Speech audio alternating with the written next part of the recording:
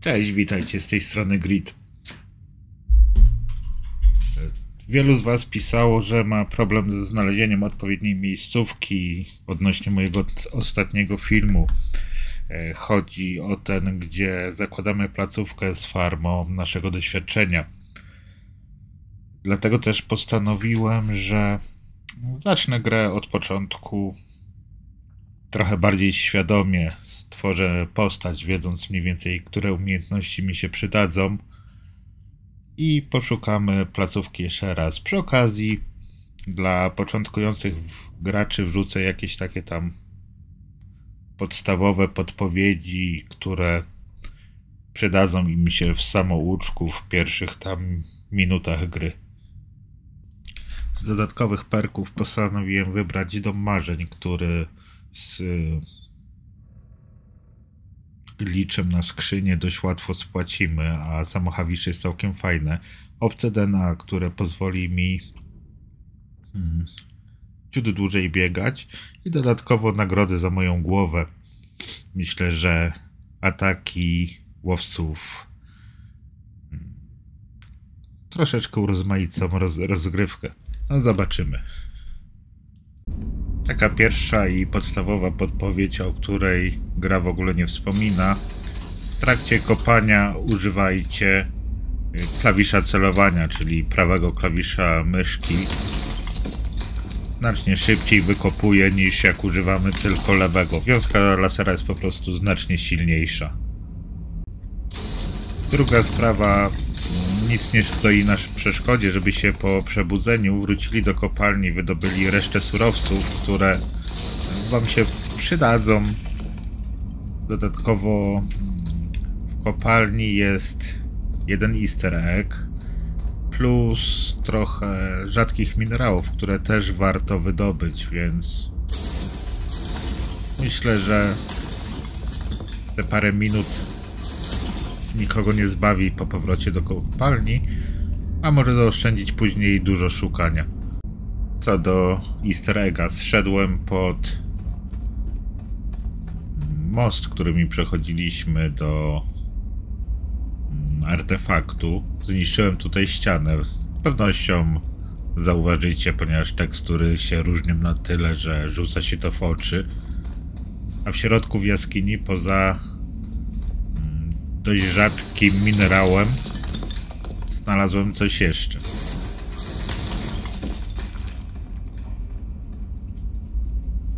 kubek do kawy NASA. Nie wiem ile ich występuje w grze, jak dotąd nie spotkałem poza tym żadnego.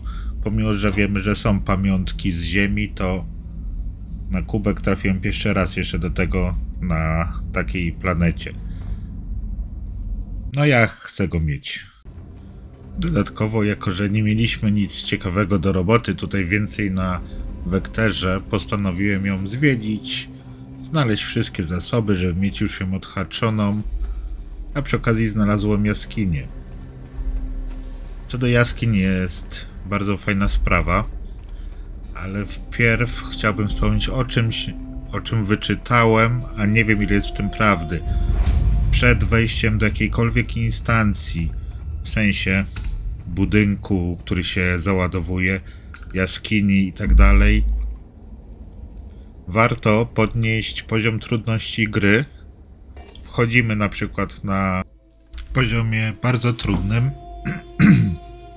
Załóżmy, że tak jak ja, gramy na normalu, przechodzimy, przełączamy na bardzo trudny. Wtedy wchodzimy na instancję i z powrotem wracamy do poziomu normalnego, tak żebyśmy mogli grać na poziomie, którym graliśmy. Teoretycznie ludzie piszą, że nagrody wtedy będą wyższe. Nie wiem, nie sprawdzałem tego i szczerze mówiąc nie zauważyłem tego jakoś specjalnie podczas mojej rozgrywki. No ale może coś jest na rzeczy. Myślę, że warto to sprawdzić. Dodatkową zaletą jaskiń jest to, że kominy gazowe, które tutaj widzicie przed nami, nie zadają nam obrażeń. Możemy zbierać benzen, y, inne gazy, bez narażenia się na obrażenia, tak jak ma to miejsce, kiedy próbujemy zrobić to na powierzchni. No i większość z jaskiń posiada jakąś tam skrzynkę, skrytkę, w której możemy znaleźć coś ciekawego. Wiadomo, nie wszystkie. Nie są to jakieś super przedmioty, ale dość często coś godnego uwagi.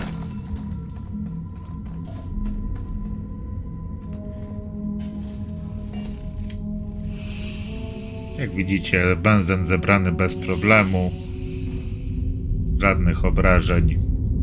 Także tylko się szlajać po jaskiniach. Dodatkowa informacja dla zbieraczy. Pamiętajcie, że przeciążenie was nie zabije. E, kiedy CO2 wzrośnie wam na maksa, zacznie wam spadać życie. Ale to życie nigdy nie spadnie do zera. Ono się zatrzyma na bardzo niskim poziomie, pewnie będziemy na hita, ale nie umrzemy. Także możemy biegać, możemy mieć 3, 4, 5 tysięcy jednostek obciążenia, a i tak nas to nie zabije.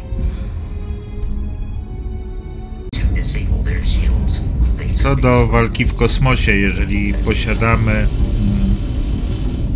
umiejętność, systemy celownicze, możemy wejść w taki widok, jak już namierzymy statek przyciskiem E, naciskamy później R i wchodzimy w tryb celowania.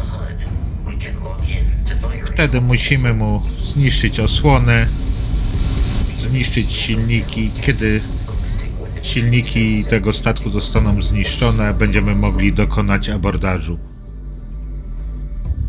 Niestety jest to też trochę bolesne, ponieważ statek i tak może się bronić, ale jak widzicie podlatuje blisko, naciskam R, dokonujemy abordażu. W tej chwili wystarczy już tylko załatwić załogę znajdującą się na statku i jeżeli tylko posiadamy wystarczające umiejętności do pilotażu, ponieważ może by się tak zdarzyć, że dokonamy abordażu na statku C lub B, do którego nie mamy możliwości pilotowania. Będziemy mogli go sobie po prostu zabrać.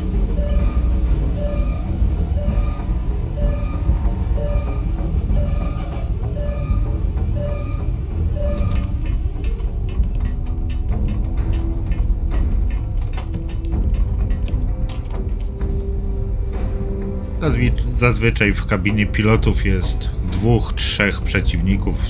Zależy to też od statku. Po ich pozbyciu po prostu siadamy w fotelu pilota i statek, jeżeli nim odlecimy, należy do nas.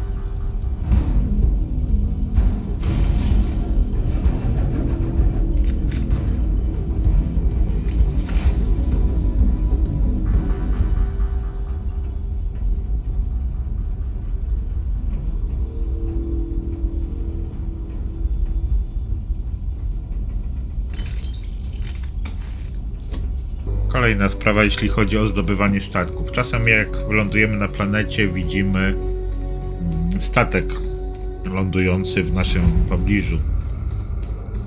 W tej chwili akurat trafiłem na statek Eclipse'a. E, miałem dużo farta, ponieważ załoga udała się do pobliskiej placówki, więc się obyło bez walki na dole. Wystarczy wejść na taki statek,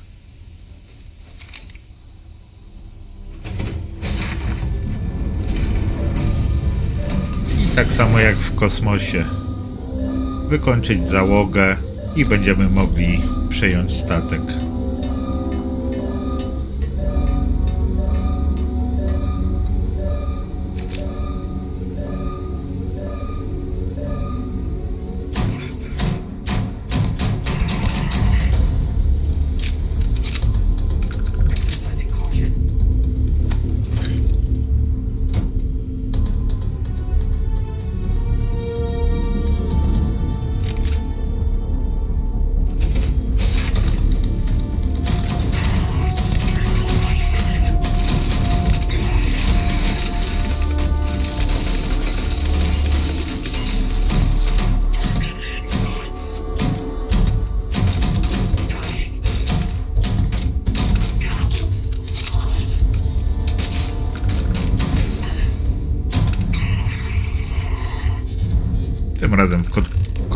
Było trzech przeciwników.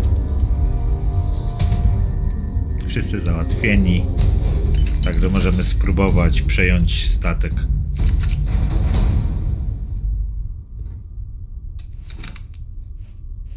No i tak jak mówiłem, zasiadamy za sterami. Teraz pamiętajcie, bardzo ważna rzecz. Nie wystarczy zasiąść za sterami. Pomimo, że teoretycznie ten statek nam się wyświetla jako nasze statki, statki posiadane, to w momencie, gdybyśmy teraz wstali i odeszli, ten statek by znikł. W sumie jak na początkowy, nawet nie najgorszy. Jest ciut mniejsza ładownia niż naszego Frontiera, no ale przynajmniej będzie statek, na którym będziemy mogli sobie potrenować budowę.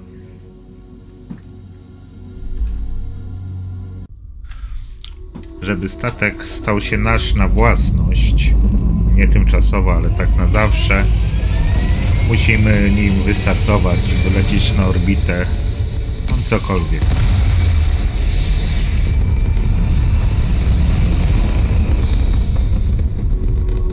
Nie przejmujcie się oczywiście o swojego frontiera, on będzie gdzieś tam na was czekał. Wystarczy podlecieć do portu, podejść do technika i ustawić waszego frontiera jako statek główny. Druga sprawa, no niestety, żeby modyfikować czy sprzedać statek, musimy go zarejestrować. Będzie nas to trochę kosztowało, no ale no nie tyle co zakup nowego statku.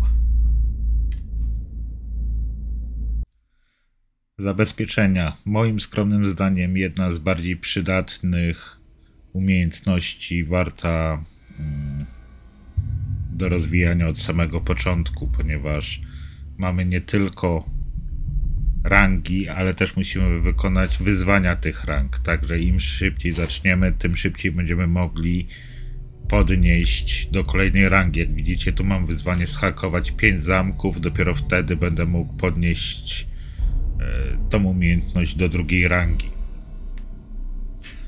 A otwieranie zamków no, w niejednej sytuacji mi bardzo pomogło, nie? Kolejną sprawą niegłupie jest też rozwinięcie skanera, żeby zwiększyć troszeczkę jego zasięg, ponieważ ten początkowy jest bardzo krótki. Jeżeli szukamy zasobów na planetach, no jest ciężko. Co do bojowych, wiadomo, bojowe przydadzą się zawsze. Jeśli chodzi o życie, o fizyczne umiejętności, mamy tam regenerację zdrowia, więc też warto w niej inwestować. Tak naprawdę myślę, że jeśli chodzi o samą umiejętności, zrobię jakiś osobny materiał o tym, ponieważ jest ich tak dużo, i zależy jaką ścieżką będziemy chcieli podążyć. E, te umiejętności będziemy musieli wybierać. Także mm, umiejętności sobie na razie zostawmy w tym filmie, a jakoś w najbliższym może się coś więcej na ten temat pojawi. Teraz taki mały lifehack. Kojarzycie tych przeciwników. Zawsze jak walczycie z grupą przeciwników, jeden z nich ma wyższy level, jest takim jakby mini bossem.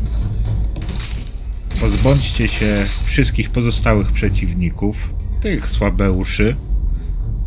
Zostawcie sobie tego najsilniejszego, który ma o kilka leveli więcej zawsze niż pozostali.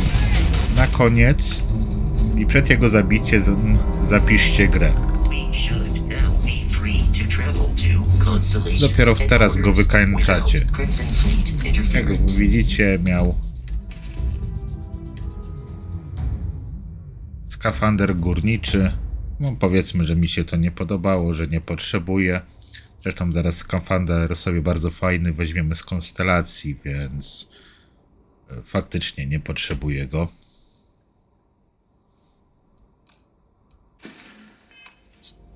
Czyli co, uznajemy, że lipa.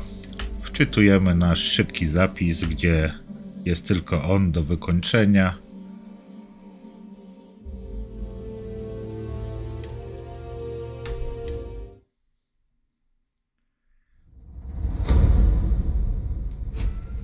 i zabijamy dziada ponownie.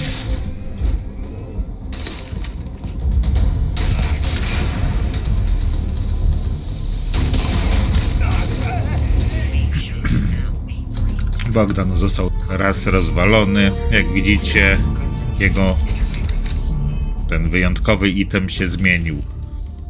Teraz mamy jakiś tam hełm głębinowy. Możecie robić to tak długo, aż traficie na coś, co potrzebujecie, czy co się tam wam spodoba. Sama kwatera konstera... konst... konsternacji. Sama kwatera konstelacji jest dla nas dość ciekawym miejscem, e, ponieważ po pierwsze mamy swój pokój ze swoim wyrkiem, gdzie w razie czego możemy się przespać, żeby podreperować zdrówko, czy żeby dostać bonus. Po drugie, mamy bardzo fajną skrytkę, która nie ma limitu pojemności. Czyli wszystkie graty, które chcemy zatrzymać, których nie chcemy sprzedawać, wrzucamy tam i sobie bezpiecznie leżą i na nas czekają.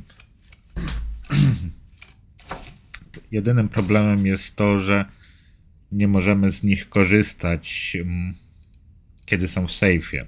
Nie mamy dostępu do nich przez stoły warsztatowe, tak jak do materiałów, które są na naszym statku czy w naszym plecaku.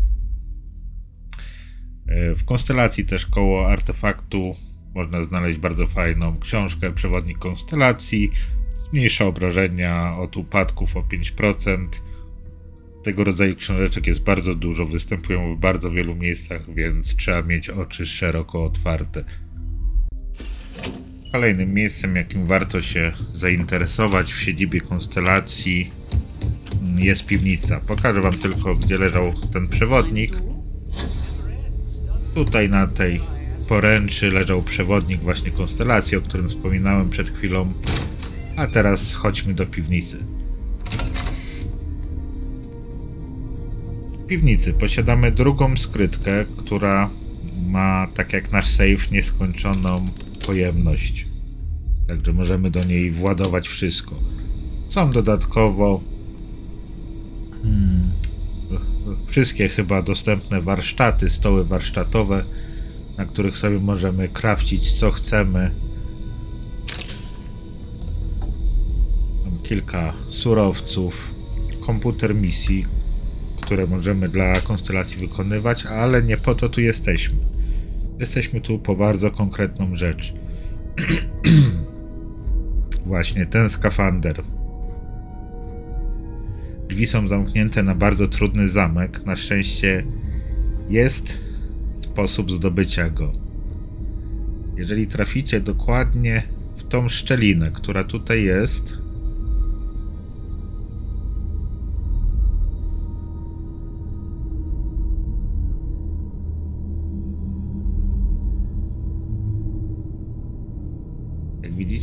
jest manekin.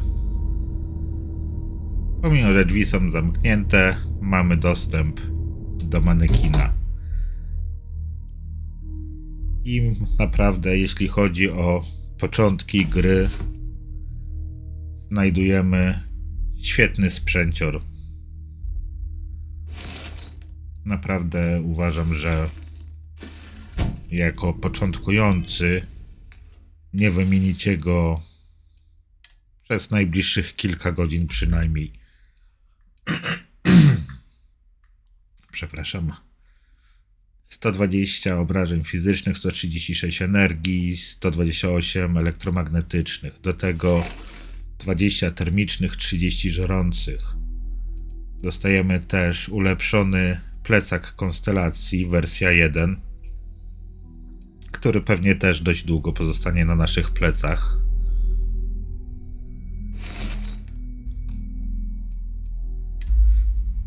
No i hełm konstelacji wersja 1, który też coś czuję, że nieprędko zmienię.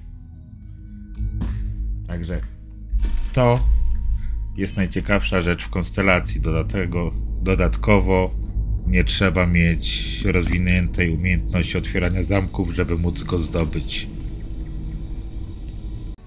Teraz słów kilka, dlaczego uważam, że warto przystąpić, zaciągnąć się do gwardii.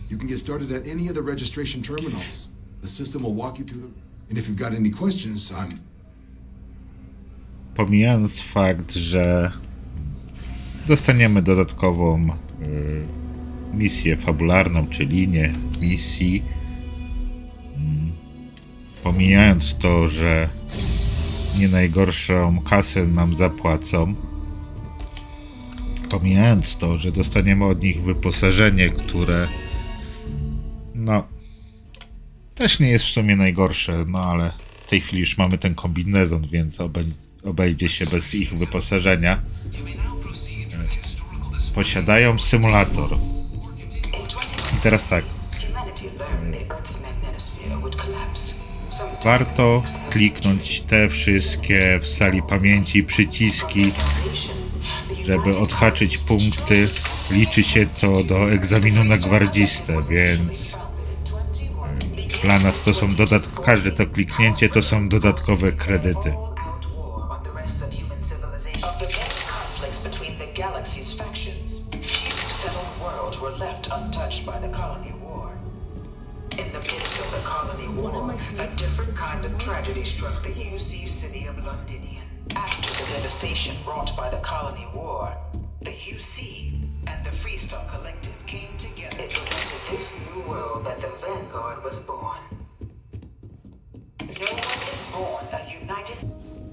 Oczywiście zanim je przeklikacie, pamiętajcie, żeby re- zarejestrować się w komputerze gwardii, który jest zaraz po waszym mm, opuszczeniu windy, jak opuścicie windę.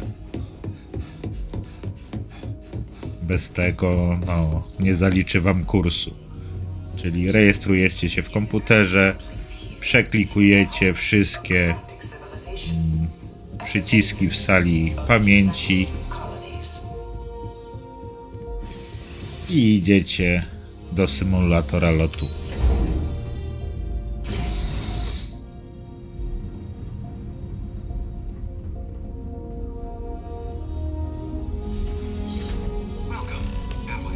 Czemu uważam, że ten symulator lotu to jest taka fajna rzecz? Już pomijając fakt, że możemy sobie poćwiczyć,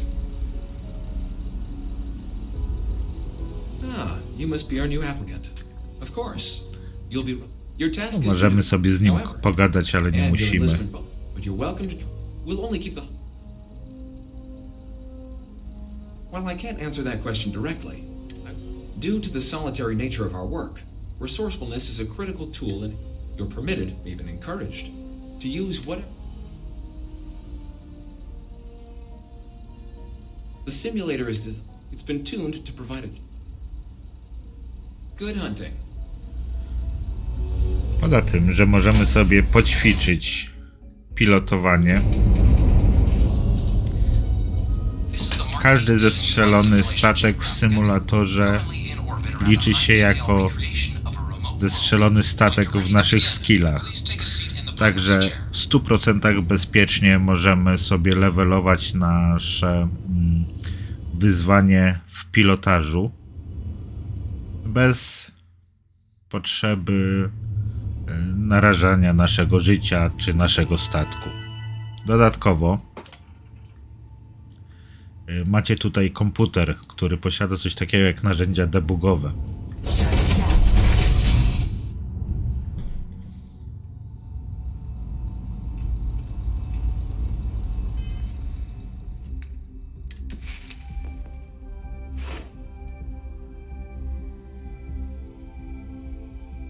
Jak widzicie, mam dostęp drugą rangę pilotażu. Weźmy ją sobie teraz odblokujmy. I wyzwanie mamy zniszczyć 15 statków, żebyśmy mogli odblokować sobie rangę trzecią.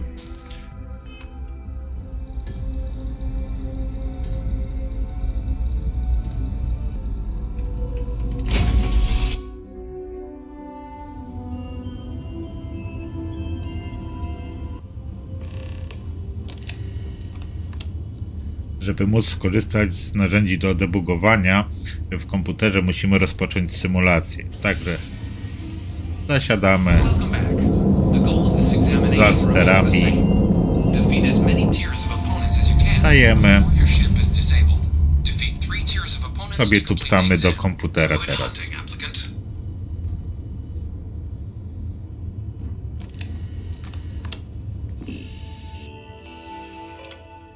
Jak widzicie, mamy ulepszenie osłon, ulepszenie obrażeń, wygenerowanie sojusznika. Jeżeli posiadacie wystarczający poziom otwierania zamków, możecie zhakować komputer.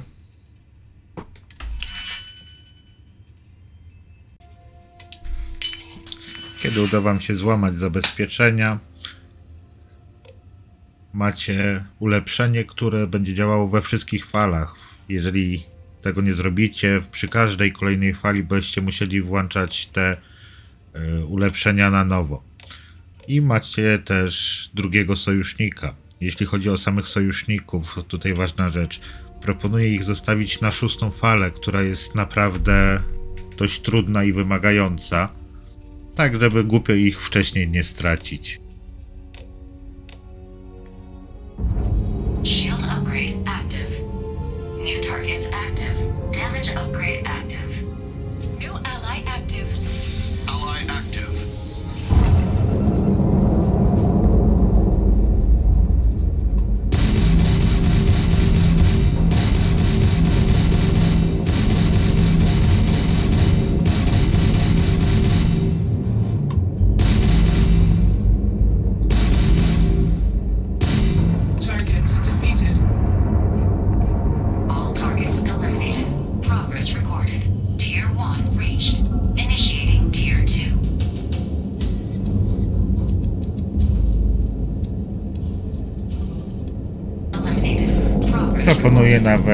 Poświęcić kilka prób, żeby udało się Wam przejść wszystkie sześć y, misji.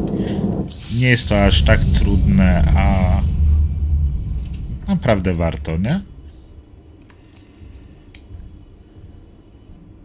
I teraz tak, mamy odhaczone down. nasz egzamin z symulator lotu i spójrzcie na pilotaż. Miałem 15 statków do zestrzelenia, żeby odblokować drugą rangę. Drugą rangę już mam odblokowaną, ponieważ te 15 statków rozwaliłem w trakcie symulacji. Także spokojnie mógłbym sobie odblokować rangę trzecią i móc pilotować statki klasy B. Jak widzicie, mam 15 na 15 zaliczonych statków, nie ryzykując ani swoją własnością, ani swoim życiem. No i teraz przejdźmy do sedna, do rzeczy, dla której w ogóle ten film powstał. Jak znaleźć to miejsce, które wskazałem w poprzednim filmie. Jak widzicie, prawej strony mamy żelazo na czerwono, z lewej strony, lewo trochę do góry od miejsca, w które celuję, macie takie jakby trzy kropki i pod spodem macie na brązowo chyba nikiel. Staracie się trafić tak, żeby wylądować na połączeniu trzech biomów: skalistej pustyni, gór i wzgórz. Klikacie tak długo, dopóki minimalne poruszenie myszką nie będzie Wam zmieniało biomu. I teraz ważna rzecz. Za każdym razem, kiedy ląduję, ja ląduję w górach. Nie wybieram wzgórz, nie wybieram skalistej pustyni, tylko wybieram góry. Zawsze staram się trafić w miejsce łą- połączenia tych trzech biomów. Także tutaj nie będę robił cięć, żebyście sobie mogli zobaczyć co i jak.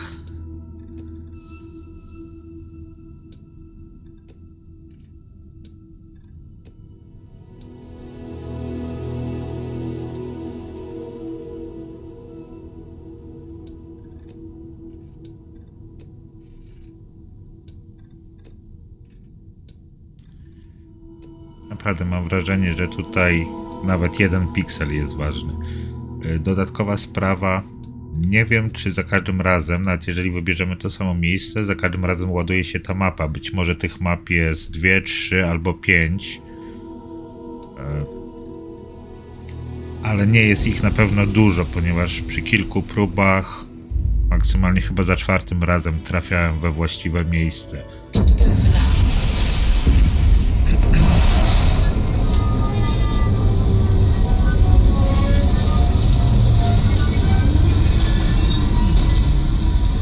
Widzieliście tam przy lądowaniu było widać kawałek pustyni, tutaj widać wzgórza, czy też góry.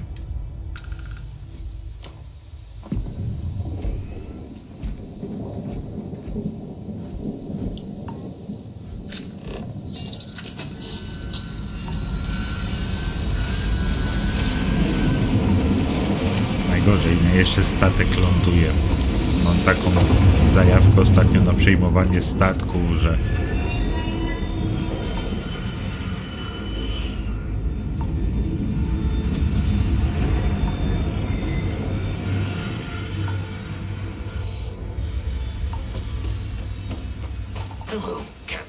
Tutaj się cofnąłem na statek, trochę się obawiałem e, tego deszczu, że mi jakieś tam zadał razy. Koniec końców się okazało, że nie jest to jakoś bardzo uciążliwe dla mojego zdrowia. Ale tak jak mówiłem, no nie wycinam tutaj nic, żebyście widzieli dokładnie, w którą stronę pobiegłem.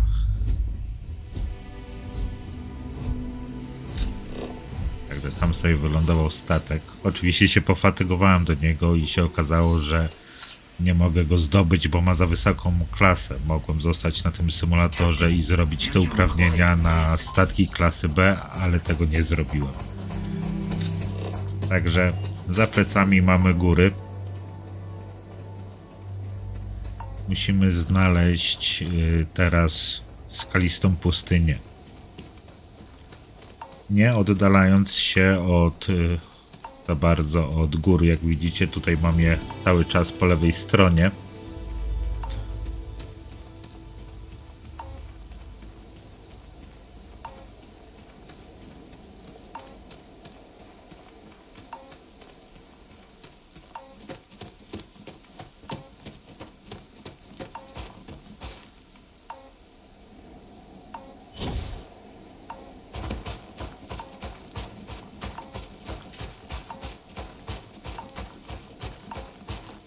I teraz tak, góry nie muszę tłumaczyć. Góry to są góry. Mm, Skalista pustynia, jak zaraz zobaczycie, charakteryzuje się jakby takimi płaskimi skałami, jakby li, lilie wodne, liście lilii wodnej rozłożone, czy coś takiego. O, tutaj właśnie przede mną się zaczynają.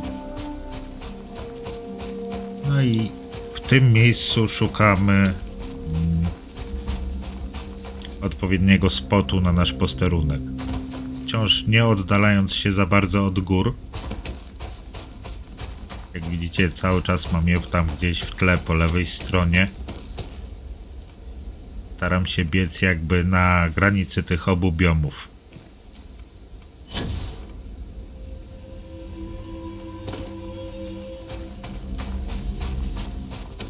Jest żelazo, jest nikiel, woda to tam mało potrzebna. Doszedł glin. Także już mamy 3 z 4 y, pierwiastków potrzebnych.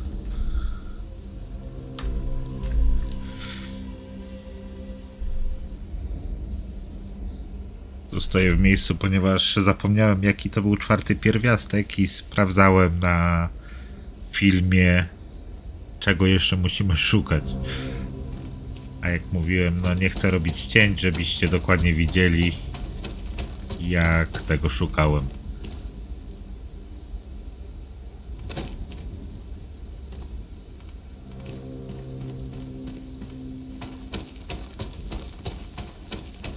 O! No i mamy kobalt. I mamy nikiel, żelazo, gliny i kobalt. Dokładnie to, czego na tej planecie szukaliśmy. udało się to znaleźć za pierwszym podejściem, tylko no, tak jak mówiłem, wymaga dosyć dużo precyzji, jeśli chodzi o miejsc, wybór miejsca do lądowania, no i odrobina szczęścia, żeby nam się wczytała mapa. Ja się spotkałem z dwiema różnymi mapami, albo może po prostu nie trafiłem w ten sam punkt. W każdym bądź razie, jak widzicie, jest to czynność powtarzalna, jest to coś, co można bez problemu powtórzyć. Teraz sobie jeszcze tylko sprawdźmy, jak są nasze złoża rozłożone. Jeżeli by było jakoś cienko, wiadomo, możemy posterunek zniszczyć i przestawić trochę ciut lepiej, nie? Żeby, żeby było. Tutaj w miarę mi się udało. Dodatkowo mam wrażenie, że jest to identyczne rozmieszczenie nawet minerałów, jakie mam na swoim pierwszym filmie. Tak więc mówię, te mapy są powtarzalne. To nie jest tak, że one się generują y, z każdym naszym lądowaniem inne.